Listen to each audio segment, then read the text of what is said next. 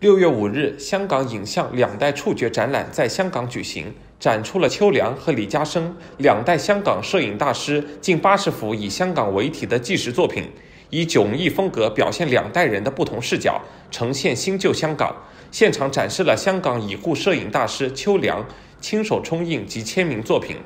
秋良拍的全部是黑白相片，其中最经典的作品《湾仔告士打道丽人情》也在场展出。据李嘉生介绍，邱良的摄影历程开始于二十世纪六十年代，他当时是邵氏制片厂专职摄影师。他的作品以香港普罗大众的生活为题，尤其爱拍孩童和街上行人，以简洁的构图记录生活真情，道出老香港故事，成为最佳的历史见证。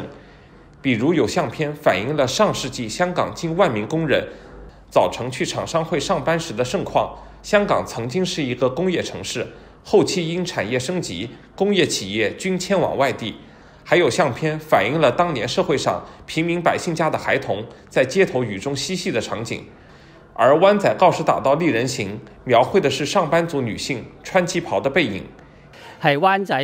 當時香港嘅五六十年代嗰個一個嘅街嘅狀況。不過呢個呢個相係喺背後一個影咧，亦背後去影咧，誒個旗袍啊，係都因為。就係近年香港人對於旗袍啊，對於個傳統咧係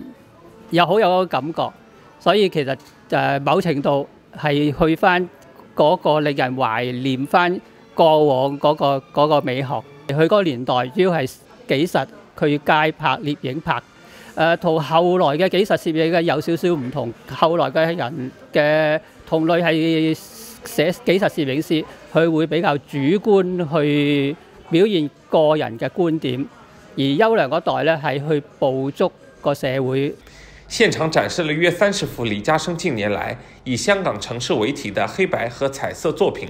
李嘉生表示，自己的風格是不將單一影像作為作品，而以拼接組合整體作為作品，所以作品圖案基本都是兩幅同主題相片拼在一起。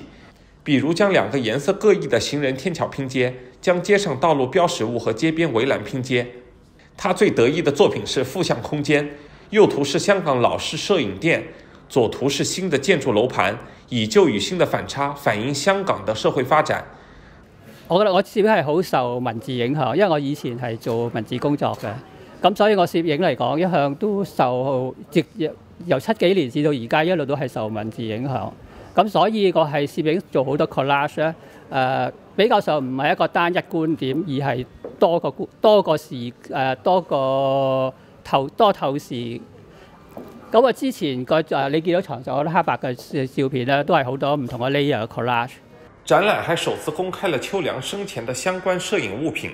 当中包括老式哈苏相机、奥林巴斯相机及玛米亚相机，他们曾陪伴秋良走过三十年的摄影生涯。